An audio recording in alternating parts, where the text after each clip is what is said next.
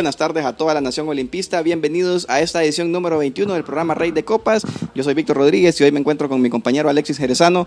Vamos a hablar de lo que se viene hoy, que es día de clásico, Alex. Claro que sí, Víctor. Un gusto saludarte a vos. También un gusto saludar a toda la gran afición olimpista que domingo con domingo eh, no se pierde Rey de Copas. Como decimos, vamos a hablar de lo que se nos viene y un breve resumen de lo que fue la jornada anterior con lo que respecta a esta pasión que nos une a todos, que es el Olimpia.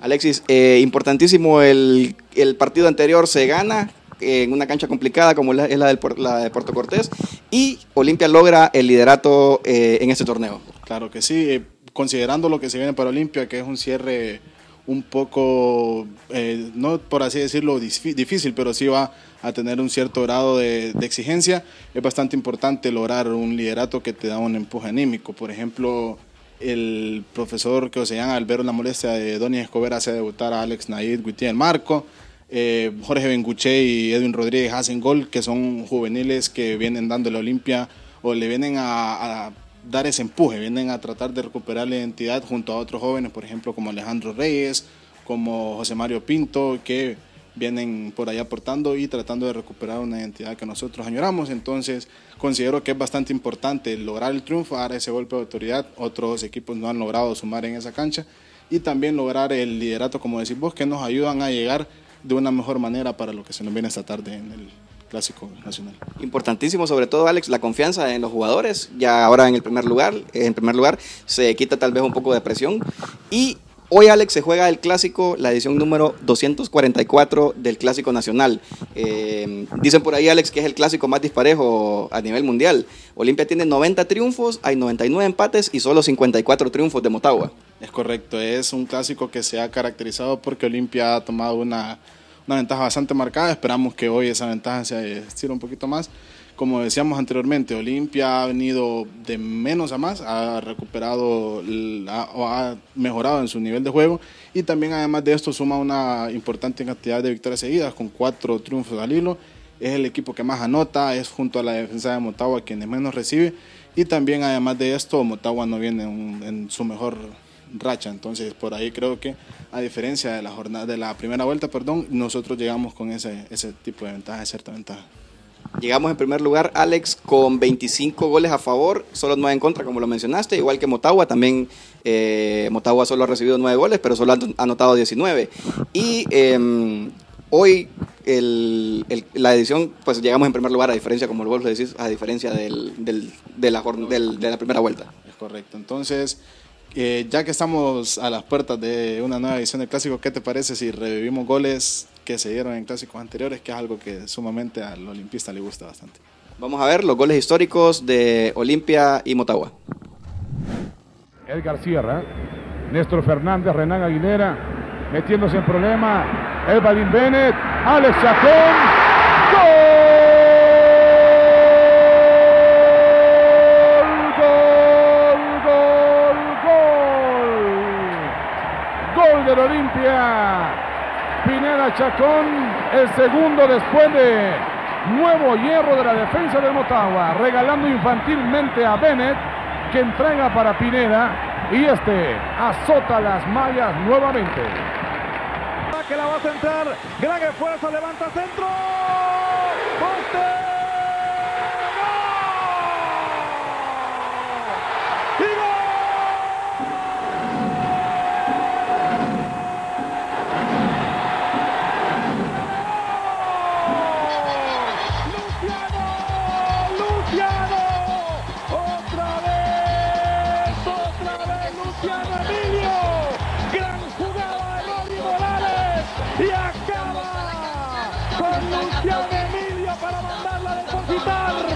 Buena jugada la de Núñez. Sigue Núñez, se acerca Núñez, le va a tocar. Va a llegar Dani Tucho, llegar a la apertura. Sigue Dani. Control de Dani, el disparo.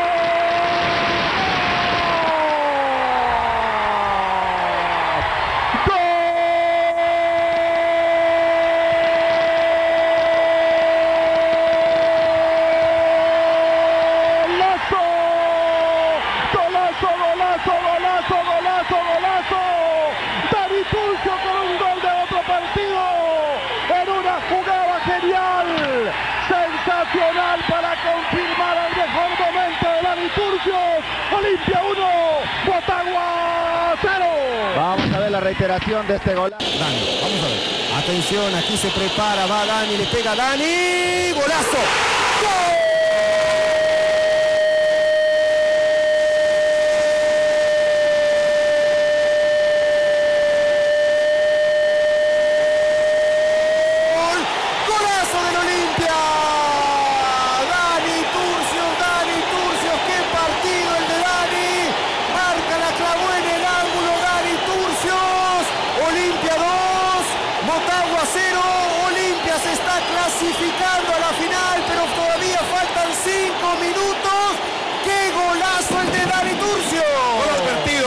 Comenté previo a que se desarrollara el tiro libre, que era para Dani Turcio, porque sabemos de la calidad que tiene este jugador, la sutileza.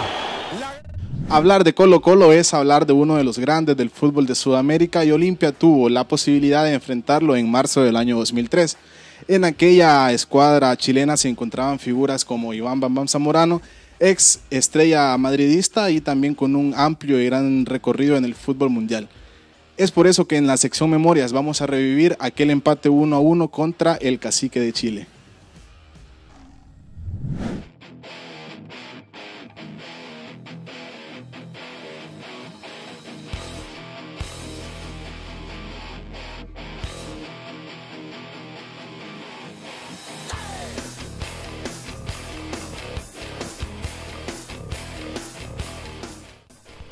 La noche del 19 de marzo, pero de 2003, Olimpia enfrentaría a Colo Colo, uno de los equipos más grandes de Chile, en un partido a beneficio de la Fundación Hondureña para el Niño con Cáncer.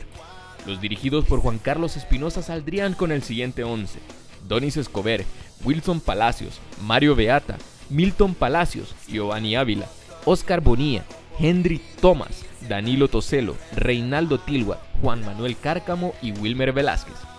El equipo chileno contaba en sus filas con la figura de Iván Bambán Zamorano, quien años atrás había militado en el Real Madrid. El encuentro se disputó en un marco impresionante en el Nacional, y los Leones saldrían a buscar abrir el marcador, y al minuto 21 llegaría Juan Manuel Cárcamo, quien de cabeza mandaría el balón al fondo del arco y desataría la locura en el Estadio Nacional.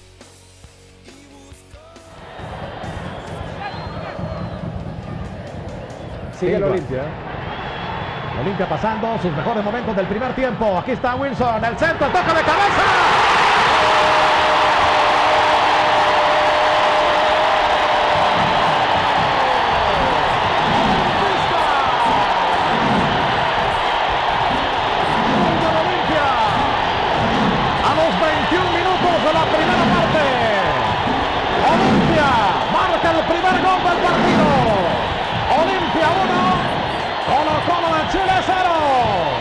Extraordinario momento del Olimpia, justamente cuando Wilson Palacio comenzó con el atrevimiento, enfrentando la marca y sacando el primer centro.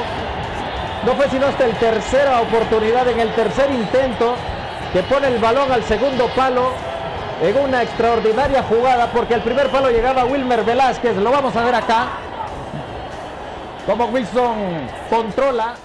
El resto del encuentro sería muy disputado por ambos equipos y cerca del final el central Marcio Carranza cobraría un penal para Colo Colo, donde el atacante Ignacio Quintero lo cambiaría por gol y pondría cifras definitivas en el marcador. Ahí está la barrida. Yo me clarísima la infracción, clarísima. Llegó un segundo antes. Ignacio Quinteros, el goleador. Vamos a ver la opción del empate para Colo Colo. La opción del empate para Colo Colo. El árbitro autoriza. Viene el tiro.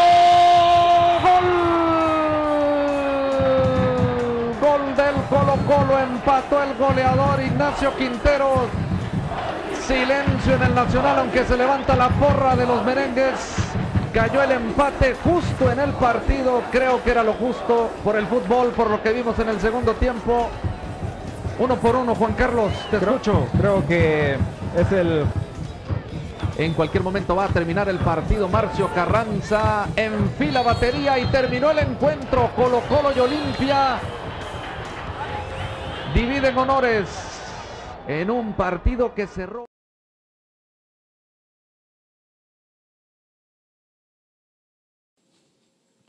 Continuamos con Rey de Copas y en esta ocasión, Víctor, me gustaría saber, vos que sos un asiduo de las redes sociales, ¿cuál es tu red favorita? Mi red favorita, pues Alex, es Instagram. Y ahora yo te pregunto, Alex, ¿a qué portero te gustaría anotarle? Pues mira que esa pregunta está un poco más difícil de contestar porque el fútbol no es tanto lo mío. Sin embargo, en nuestra sección al ángulo tenemos a alguien que sí la podría responder perfectamente. Entonces, ¿qué te parece si vamos a ver nuestra sección al ángulo con José Mario Pinto?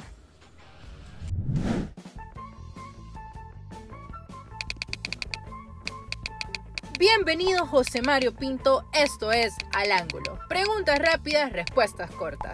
Comenzamos. ¿Color favorito de botines? Eh, grises o negros. ¿Desde qué edad jugás fútbol? Desde pequeño, cinco años creo. ¿Tu compañero que más ronca? Papuchi, ¿El fútbol para vos es pasión, alegría. una cábala? No, ninguna. ¿Red social favorita? Eh, Instagram. ¿Ganar por goleada o ganar al 90? Ganar y ganar. Ganar, no, no. ¿Una canción que siempre escuchás? Eh, ¿Quiere beber de Anuel? ¿La podés cantar?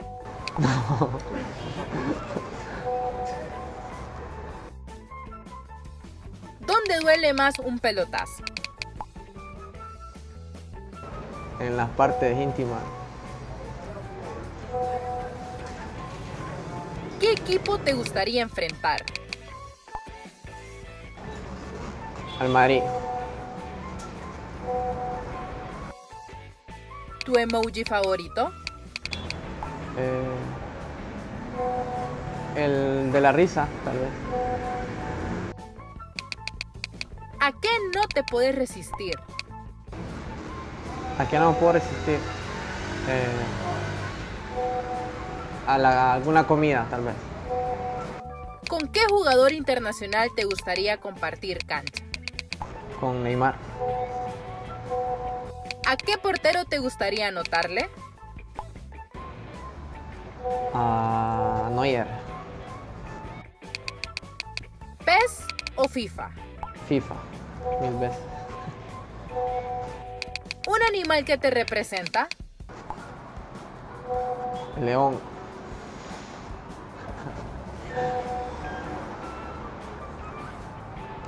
¿Cómo te describirías en una palabra?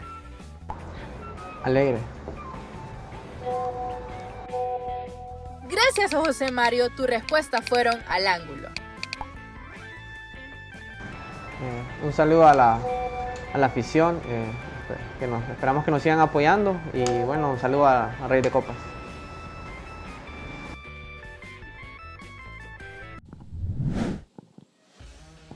Después de este mano a mano con José Mario Pinto, Alex, ¿crees que José Mario pueda haber minutos esta tarde en el, en el clásico? Destacando la ausencia de Jorge Álvarez por acumulación de tarjetas amarillas. ¿Cómo va a suplir el profe Kioseyan eh, esa baja? Fíjate que sí, yo veo a, a Pinto teniendo minutos, tal vez no en la misma posición de Jorge Álvarez, ya que no cumplen en la misma función. Veo a, José Mario un poco más tirado a la banda, pero sin duda alguna yo lo veo teniendo minutos. Es un jugador bastante desequilibrante que podría causar bastante peligro entrando como refresco en el segundo tiempo.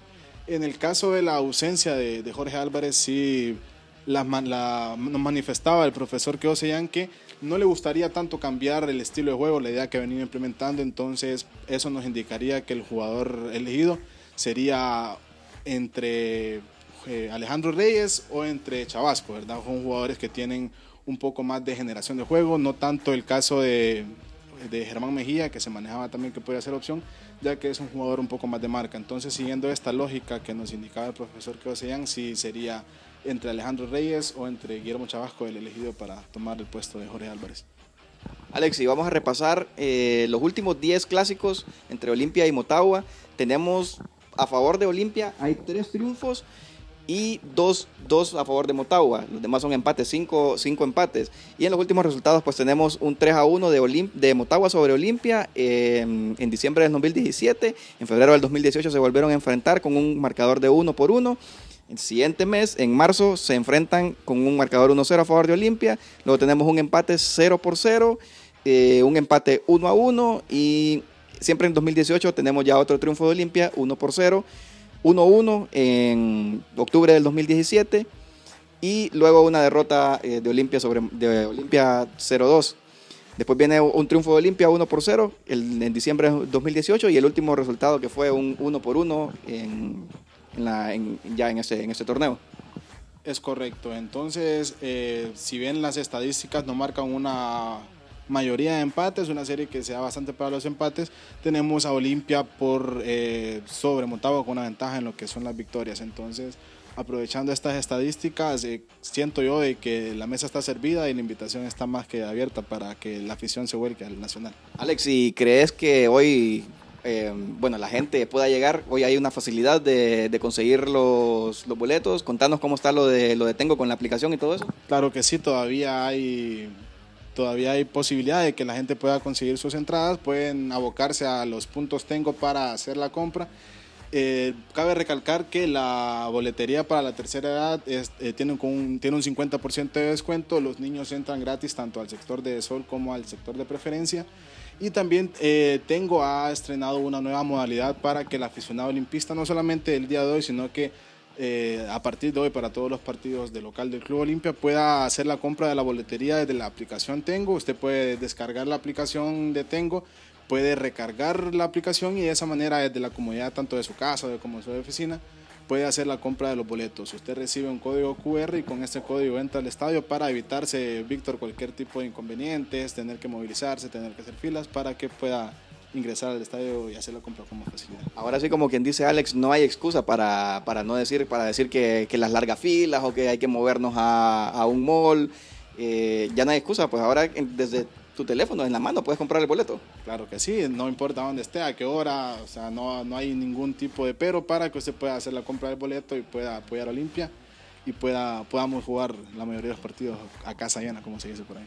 Alex, y esta semana, ¿a quién tenemos en, en los cumpleaños de cumpleañero? Claro que sí, en esta ocasión vamos a aprovechar nuestra sección Feliz Cumpleaños para hacerle la extensa, hacerle llegar una extensa felicitación a uno de los extranjeros que marcó historia en el Club Olimpia. Se trata de Carlos Laje Moreno.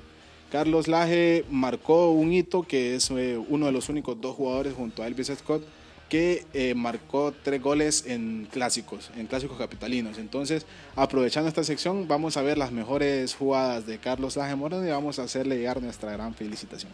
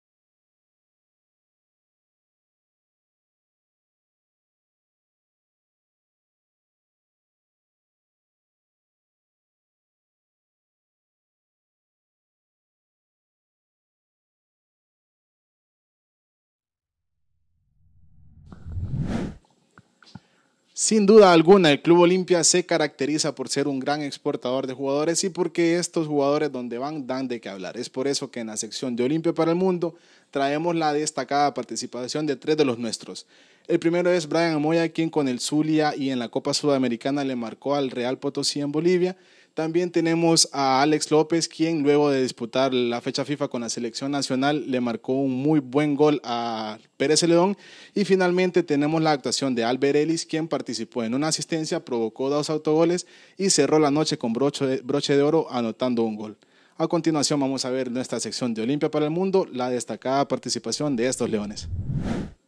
En la mitad de la cancha por parte del Brujo y se viene a toda velocidad el Zulia Fútbol Club. Se viene la Grey Zuliana. Va picando el Brujo. El Brujo toca para Moya. Moya está el primero. Moya.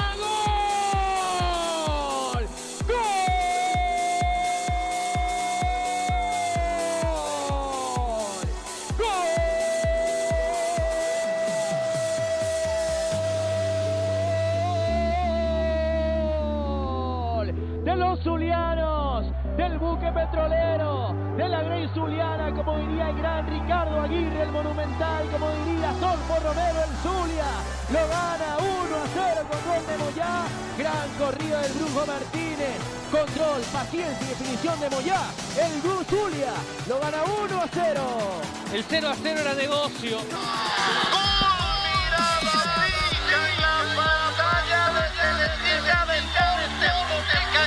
La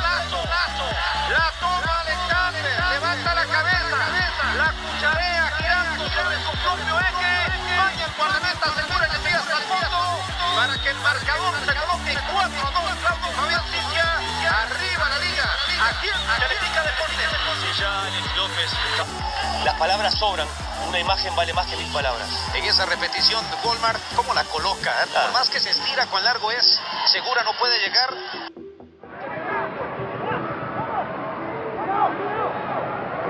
Martinez somehow comes away with the ball, finds Hairston. Monotas. Elise, and it's 4 0. As easy as that. Three or four touches, finds his way to Elise and Houston Dynamo. And now four goals to the good. movement.